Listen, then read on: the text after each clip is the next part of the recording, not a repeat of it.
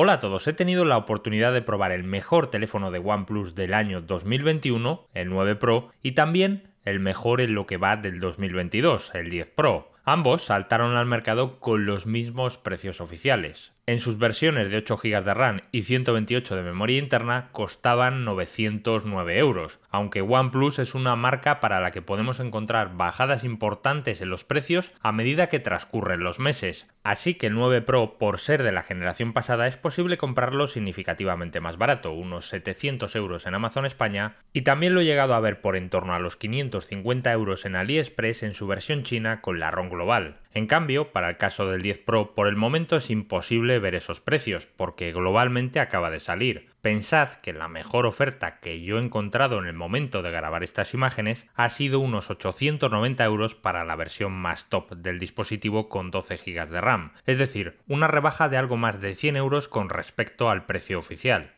Con toda lógica podríamos pensar que es normal que el 9 Pro esté mucho más económico porque al ser más viejo tendrá que ser también bastante peor, pero vamos a ver si esto es verdad o no. Fijaos en las características que os listo en pantalla de ambos. Hay similitudes más que evidentes. De hecho, si marcamos las diferencias más significativas en rojo, vemos que estamos ante móviles muy muy parecidos. Eso sí, externamente el cambio de diseño por la parte trasera es notable. El módulo de las cámaras se ha rediseñado y la superficie de la tapa del 10 Pro tiene un acabado poroso. Quizás a mucha gente le guste más el diseño del 9 Pro por ser más armonioso en su conjunto, pero en el tema de gustos no hay nada escrito. Lo que sí que tenemos es una disposición de botones muy muy similar, incluyendo en ambos casos el mítico slider para poder modificar el modo de sonido del dispositivo. En cuanto a dimensiones son también muy parecidos, sobre todo en el alto y el ancho. El grosor es ligeramente más grande el 9 Pro, a pesar de tener 500 mAh de batería menos. Respecto al peso, el 10 Pro sí que tiene 1 o 2 gramos más, seguramente provocados por una batería más grande. Por otro lado, en referencia a las pantallas, en el día a día aparentemente no notaremos grandes diferencias.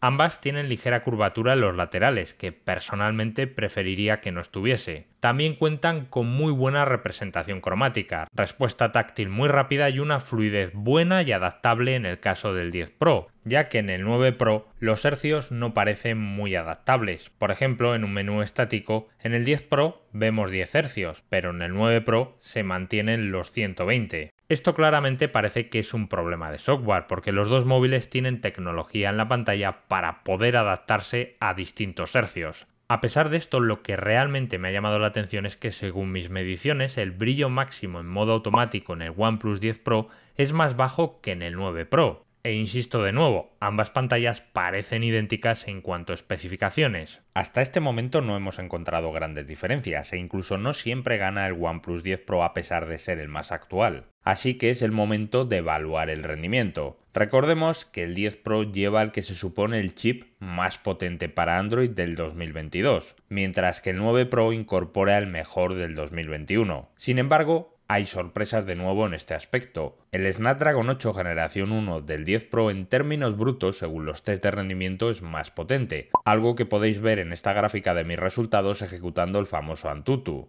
Lo he lanzado 5 veces seguidas en cada uno de los dispositivos y he anotado la puntuación final en cada una de las iteraciones. Siempre ha estado por encima el OnePlus 10 Pro, salvo en la quinta ejecución donde, fruto del calor, los dos dispositivos han disminuido su puntuación. Sin embargo, porcentualmente ha caído más el 10 Pro, y lo hace tanto que incluso el 9 Pro supera sus puntos. Por otro lado, con el famoso videojuego 3D Genshin Impact me he llevado una tremenda decepción, ya que ha funcionado mejor el OnePlus 9 Pro desde el minuto 0 hasta el final de la prueba podéis verlo en los resultados de los fotogramas por segundo generados en cada uno de los móviles. Esto creo que es por falta de optimización, porque aunque fuese solo en los primeros minutos del juego, el 10 Pro debería estar por encima. De hecho, en los test sintéticos de rendimiento para evaluar el apartado gráfico, el 10 Pro es superior. Eso sí, ya sabéis que esta clase de test son digamos pruebas de laboratorio. Por eso me gusta analizar realmente cómo se comportan con aplicaciones reales los dispositivos. Por ejemplo, he renderizado un vídeo en 360 grados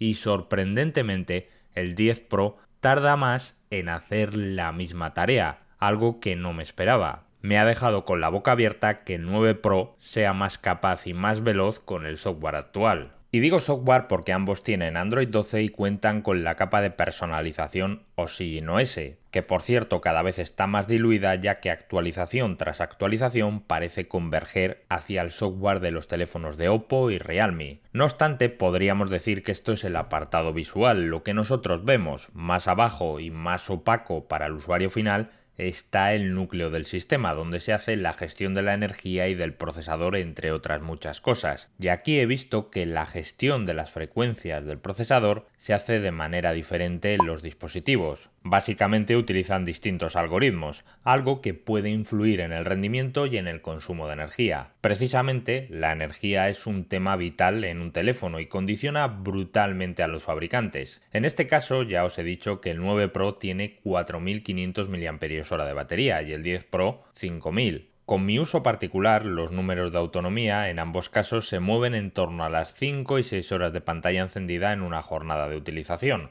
aunque para ser justos creo que el 10 Pro en este aspecto ha sido ligeramente superior. Lo bueno es que ambos tienen la posibilidad de realizar una carga súper rápida, el 10 Pro nos viene con un cargador de 80 vatios, mientras que el 9 Pro de 65, pero más o menos tardan unos 30 minutos en llegar los dos al 100%. Recordad que el 10 Pro tiene más batería, por eso tardan casi lo mismo. En otros apartados, como el desbloqueo biométrico, no he visto diferencias muy significativas. Quizás lo que más llama la atención es la posición de la huella en pantalla, que me parece más natural en el 10 Pro por estar un poco más arriba. Para la conectividad, os digo más de lo mismo. En los dos tenemos 5G, Wi-Fi, Bluetooth, NFC y GPS dual con valores similares según mis pruebas. Donde encontramos diferencias que nuevamente me han llamado la atención ha sido en el último apartado que os quiero comentar, el de las cámaras. Para el sensor principal no se han comido mucho la cabeza, han instalado lo mismo que teníamos en el 9 Pro, un Sony de 48 megapíxeles acompañado de una apertura f1.8 y estabilización óptica. De hecho, he disparado de día en exactamente la misma escena con los dos teléfonos y me cuesta ver diferencias más allá de un ligero cambio de tonalidad. Fijaos incluso que si ampliamos una imagen vemos prácticamente lo mismo. Por la noche llama la atención como en algunas escenas hay diferencias notables a pesar de estar ante el mismo sensor y prácticamente el mismo software. Así que esta diferenciación puede derivar del procesador que se encarga de gestionar toda la información que es recibida a través del sensor. La verdad que en alguna que otra toma he notado como el OnePlus 10 Pro emborrona más la imagen dándonos menos nitidez final. Algo que también he experimentado con la cámara gran angular de 50 megapíxeles del OnePlus 910 Pro. El 9 Pro en automático, sobre todo por la noche, es más solvente, Así que si queremos más o menos igualar los resultados debemos disparar en modo noche con el OnePlus 10 Pro. La ventaja que tiene el 10 Pro con esta cámara es que nos da más juego en cuanto a amplitud visual, ya que incorpora más modos. Me ha gustado que los dos incorporan teleobjetivo para poder tener un zoom óptico de unos 3,3 aumentos. De día dan resultados decentes, con diferencias nuevamente en el color, eso sí, debemos ser conscientes que con baja luminosidad el móvil no usará realmente este tipo de cámaras teleobjetivo, ya que su software decidirá utilizar la cámara principal y hacer un recorte digital. Y esto ocurre porque los teleobjetivos tienen poca apertura focal y recogen por lo tanto poca luz. En el apartado de vídeo con el software actual hay cosas que realmente no comprendo. Con el móvil de nueva generación como máximo en 8K alcanzamos los 24 fotogramas por segundo, mientras que en el 9 Pro llegamos a los 30. Con el modo super estable nos ocurre algo similar. En el 10 solo podemos activarlo en resolución 1080, mientras que en el 9 Pro lo podemos usar en modo 4K. Es decir, que hemos ido viendo a lo largo del vídeo que el nuevo móvil no es que solo evolucione muy poco con respecto a la generación pasada, sino que en algunos apartados es incluso hasta peor. Y sí, ya sé que podemos pensar que es por falta de optimización y por el software, pero no es lógico que los compradores nos estemos acostumbrando a que los móviles cada vez salgan más deprisa al mercado a cambio de ofrecer mejoras ínfimas y optimizaciones deficientes. ¿Vosotros qué opináis sobre este tema? Decídmelo en los comentarios porque me interesa muchísimo saberlo. Os voy a leer absolutamente todos. Nos vemos en el siguiente.